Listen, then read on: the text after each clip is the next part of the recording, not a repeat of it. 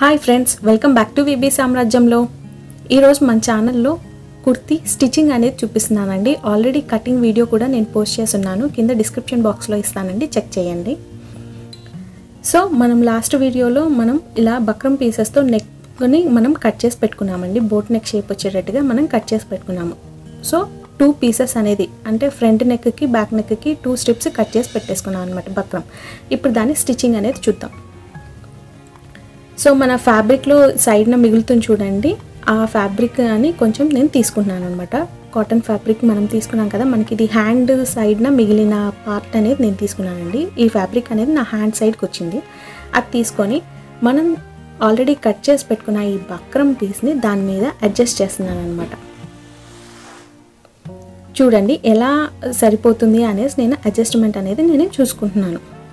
ఒకవేళ మీకు hand side లేకపోతే వేరే పీస్ అనేది ఆల్రెడీ మనం two point five meters cloth అనేది తీసుకున్నామండి. ఇంకా మనకి పీస్ అయితే ఉంటుంది. నాకు ఇక్కడ ఉంది అనేసి నేను తీసుకుంటున్నాను.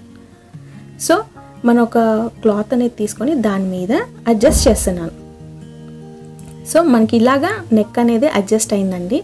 సో ఇక్కడి నుంచి దాటకుండా ఉండడం కోసం నేను ఒక మార్క్ అనేది చేసుకున్నాను అనమాట ఇలా ప్లేస్ చేసేసి బోట్ నెక్ని. మార్క్ చేసుకొని అది సైడ్స్కి వెళ్ళిపోకుండా నేను ఒక పిన్తో నేను మార్క్ పెట్టుకుంటున్నాను. సో ఇలా మార్క్ చేసేసి పిన్స్తో మనం పెట్టుకున్న తర్వాత దాని మీద బక్రం మీద ఒక స్టిచ్ అనేది వేయాలన్నమాట. సో బక్రం అనేది మనకి అటు ఇటు జరగకుండా ఉంటుంది. మనం స్టిచ్ వేయాలన్న నెసెసిటీ ఏం లేదండి. కావాలంటే మనం ఐరన్ కూడా చేసుకోవచ్చు అనమాట ఐరన్ చేసేటప్పుడు బక్రం ఒక సైడ్ మెరుస్తూ ఉంటుందండి అది మన క్లాత్ వైపుకి పెట్టేసేసి దాని మీద మనం ఐరన్ చేస్తే మనకి బక్రం అనేది క్లాత్ మీద స్టిక్ అయిపోతుంది. సో ఇప్పుడు నేను స్టిచ్చింగ్ అనేది చూపిస్తున్నానండి. సో ఇలా నేను ప్లేస్ చేసేసి నెక్ని నేను క్లాత్ మీదకి నేను స్టిక్ చేసేస్తున్నాను. స్టిచ్తో నేను వేసేస్తున్నాను అనమాట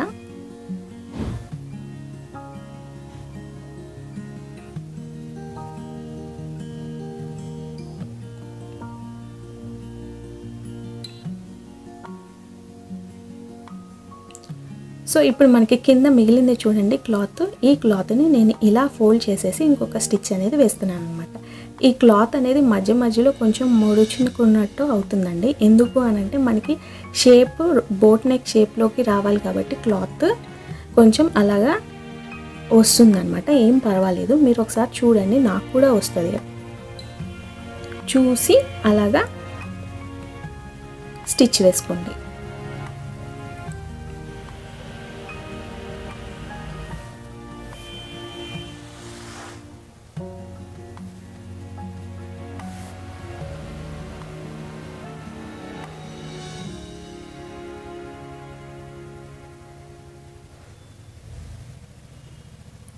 ఎవరైనా నా ఛానల్ ఫస్ట్ టైం చూస్తున్నట్లయితే నా ఛానల్ని సబ్స్క్రైబ్ చేసుకోండి. నేను రోజు పోస్ట్ చేసే వీడియోస్ అప్డేట్ అనేది వస్తుంది.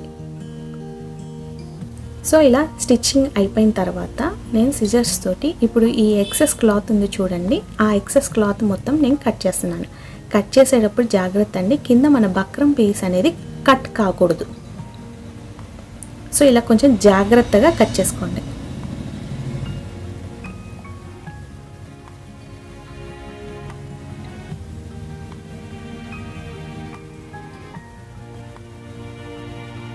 ఆల్రెడీ నా ఛానల్కి సబ్స్క్రైబ్ చేసుకున్న వాళ్ళు థ్యాంక్ యూ థ్యాంక్స్ అండి.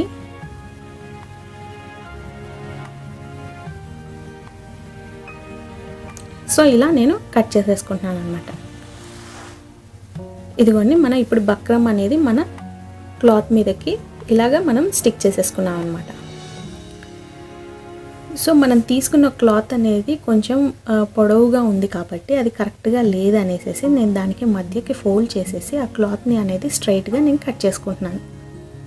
మీరు ఒకవేళ స్ట్రైట్ క్లాత్ అనేది తీసుకుంటే ఈ ప్రాసెస్ని మీరు స్కిప్ చేయొచ్చు.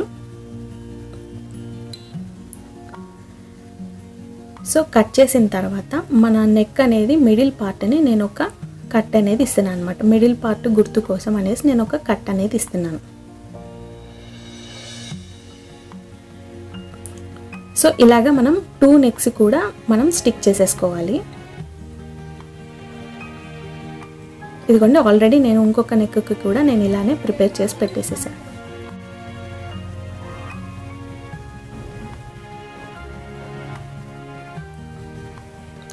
సో ఇప్పుడు ఇలా రెడీ చేసేసిన బోట్ నెక్ మొత్తము మన డ్రెస్కి ఎలా స్టిక్ చేయాలనేది చూపిస్తున్నాను. సో ఆల్రెడీ మనం డ్రెస్ని మనం కట్ చేసి పెట్టుకున్నాం కదండి. ఆ డ్రెస్ని మనం ఇలా ప్లేస్ చేసుకుంటున్నాను. ఇదిగోండి డ్రెస్ ఒక పార్ట్ తీసుకున్నాను ఒక సైడ్ అనమాట ఇది మనకి హ్యాండ్స్ సైడ్ ఇలా వస్తుంది. మనకి నెక్ అనేది మనం మార్క్ చేసుకున్నాం కానీ కట్ చేయలేదు. సో ఈ ఇప్పుడు మనం దాన్ని మధ్య పార్ట్ అనేది నేను ఒకసారి మార్క్ చేసుకుంటున్నాను అనమాట సిజర్స్ తోటి ఒకసారి జస్ట్ ఒక కట్ అనేది ఇస్తున్నాను. ఇప్పుడు ఆ మధ్య మనం కట్ ఎలా ఇచ్చామో దాని మీద మనం ఆల్రెడీ రెడీ చేసిన బోట్ నెక్ పీస్ అనేది నేను ఇలా ప్లేస్ చేసేసి నేను స్టిచ్ వేసుకుంటున్నాను అనమాట మన బాడీ పార్ట్ మన రైట్ సైడ్కి ఉండాలండి. మనం తయారు చేసిన నెక్ పీస్ అనేది రాంగ్ సైడ్కి ప్లేస్ చేసుకుంటే మనకి టర్న్ చేసినప్పుడు మన నెక్ అనేది కరెక్ట్గా వస్తుందన్నమాట. ఇలా ప్లేస్ చేసేసి దాని మీద స్టిచ్ వేయాలన్నమాట. ఇప్పుడు నేను అలా ఎందుకు స్టిచ్ వేయటం చూపి పెడుతున్నానంటే మనకి నెక్ అనేది అటు ఇటు వెళ్ళకుండా ఉంటుందనేసి నేను ఒక పిన్నీస్ పెట్టున్నానండి ఇప్పుడు నేను ఎక్కడైతే నేను మార్క్ చేస్తున్నానో అక్కడ మీరు స్టిచ్ అనేది వేయండి. గుర్తుపెట్టుకోండి స్టిచ్ అనేది బక్రం మీదకి వెళ్ళకూడదు ఇప్పుడు. ఓన్లీ క్లాత్ మీదనే రావాలి. మనం బక్రం మీదకి స్టిచ్ అనేది వెళ్తే మనకి బక్రం అనేది వెనక్కి టర్న్ అవ్వదు అనమాట ఇదిగోండి నేను స్టిచ్ వేశాను చూడండి. సో నాకు ఇక్కడ ఎక్కడా కూడాను బక్రం మీదకి అనేది స్టిచ్ వెళ్ళలేదు. ఇదిగోండి ఇలా టర్నింగ్ అనేది ఈజీగా ఉంటుంది. ఇప్పుడు మనకి నెక్ అనేది బోట్ నెక్ షేప్ కాబట్టి ఆ టర్నింగ్ అనేది కరెక్ట్గా తిరగదనమాట అందుకనేసి ఒక హాఫ్ ఇంచ్ అనేది నేను మార్క్ చేసి లైన్ వేసుకుంటున్నానండి మార్క్ చేస్తున్నాను చూడండి. ఇప్పుడు నేను మార్క్ చేసిన లైన్ మీద నేను కట్ చేస్తాను అనమాట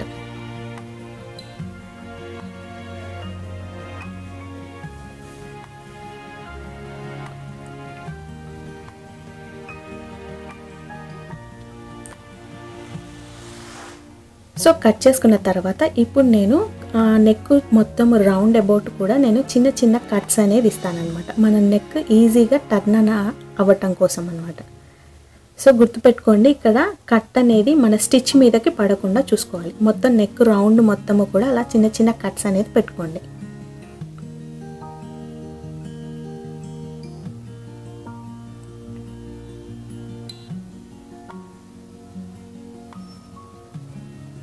సో ఇక్కడ మీరు చూస్తే తెలుస్తుంది. ఇదిగోండి నాకు స్టిచ్ మీదకి వెళ్ళకుండా ఉంది చూడండి కట్. అలా మొత్తం మన నెక్ మొత్తం పెట్టుకోవాలి. ఇప్పుడు సో మన నెక్ అనేది ఈజీగా టర్న్ అయిపోతుంది. సో టర్న్ అయిన తర్వాత మన నెక్ను ఒకసారి నీట్గా ప్లేస్ చేసేసి ఒకసారి వేలుతో మీరు గట్టిగా ప్రెస్ చేసినట్లయితే మనకి అలాగా స్టిఫ్గా ఉంటుందన్నమాట. ఇప్పుడు ఇప్పుడు నేను చూపిస్తున్న దగ్గర మీరు ఒకసారి స్టిచ్ అనేది వేసుకోండి. అప్పుడు మనకి నెక్ అనేది ఊరికే లెగవకుండా కరెక్ట్గా ఫోల్డ్ అయ్యి ఉంటుందన్నమాట. అక్కడ మీరు స్టిచ్ అనేది వేసుకోండి. కావాలి అని అంటే మీరు హెమ్మింగ్ అయినా చేయొచ్చండి. సో కింద కూడా ఒకసారి హెమ్మింగ్ చేస్తే నీట్గా ఉంటుందన్నమాట. ఇదిగోండి నేను స్టిచ్చింగ్ అనేది చూపిస్తున్నాను.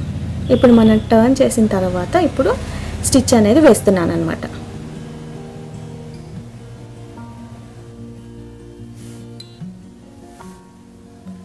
సో మన నెక్ అనేది కంప్లీట్ అయిపోయింది. ఇప్పుడు మనం ఒక ఫ్రంట్ పార్ట్ కంప్లీట్ చేసుకున్నాము. సేమ్ ప్రొసీజర్లో మనము ఇంకొక పార్ట్ కూడా కంప్లీట్ చేసుకోవాలన్నమాట.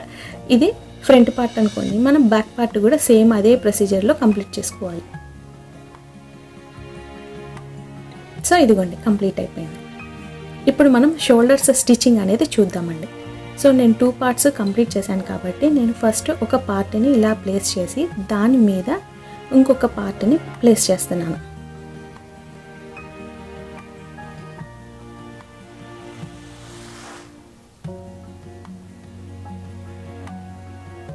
సో ఒక షోల్డర్ మీదకి ఇంకొక షోల్డర్ వచ్చేటట్టు పెట్టుకొని దాని మీద స్టిచ్ వేయండి.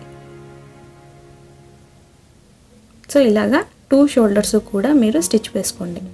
స్టిచ్ వేసేటప్పుడు ఒకటికి రెండు సార్లు చూసి గట్టిగా స్టిచ్ వేసుకోండి. స్టిచ్ లూజ్ అయిపోకుండా అనమాట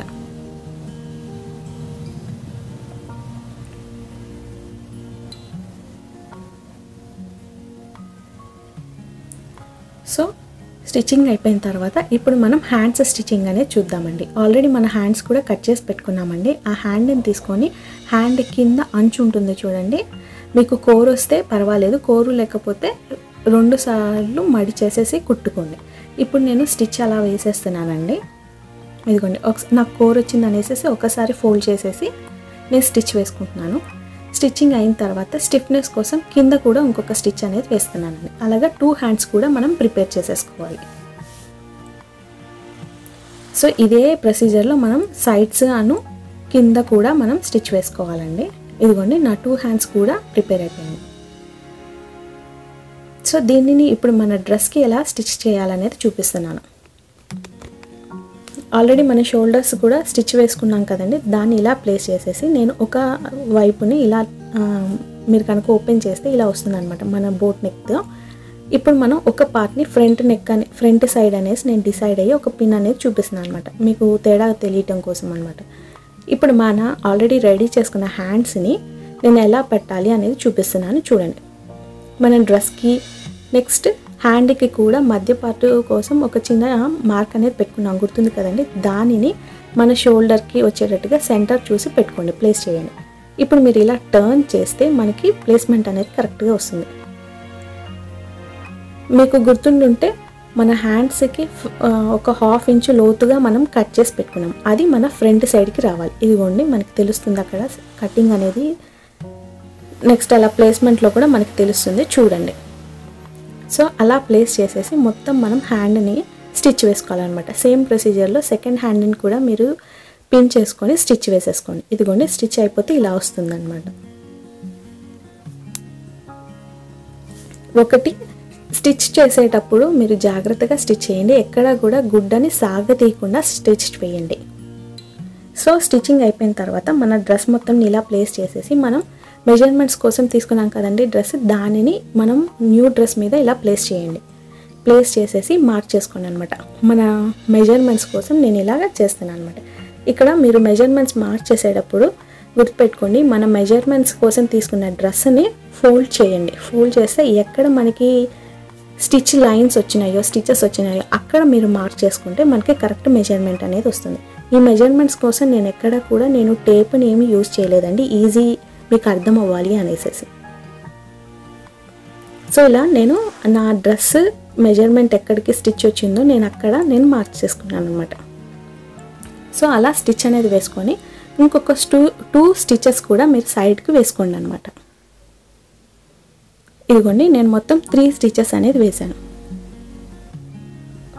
సో సేమ్ ప్రాసెస్లో ఇందాక మనం హ్యాండ్స్కి స్టిచ్ వేసినట్టుగానే అట్లానే మనం సైడ్స్ను కింద కూడా మీరు అలానే ఫోల్డ్ చేసేసి స్టిచ్ వేసుకోండి. సో మనకి డ్రెస్ అనేది కంప్లీట్ అయిపోతుంది. ఇదిగోండి మొత్తం మన డ్రెస్ అనేది కంప్లీట్ అయిపోయింది. ఇప్పుడు మనం సైడ్స్ స్టిచ్ వేసిన తర్వాత ఇంకా కూడా క్లాత్ ఉంది కదా దానిని మనం ఫినిషింగ్ చేద్దాం. ఫినిషింగ్ అంటే ఏం లేదండి ఇలా ఎక్సెస్గా ఉన్న క్లాత్ మొత్తం మనం కట్ చేసేస్తున్నాం. సో ఇంతేనండి సింపుల్గా మన డ్రెస్ స్టిచ్చింగ్ అనేది అయిపోయింది. మీకు కూడా ఈ స్టిచ్చింగ్ నచ్చినట్లయితే మీరు కూడా డ్రెస్ ఒకసారి స్టిచ్ చేసి చూడండి చాలా ఈజీగా అయిపోతుంది ఎక్కువ సేపు ఏమీ కూడా పట్టదండి. మీకు కనుక నా వీడియో నచ్చినట్లయితే లైక్ చేయండి షేర్ చేయండి సబ్స్క్రైబ్ చేయండి. Thanks for watching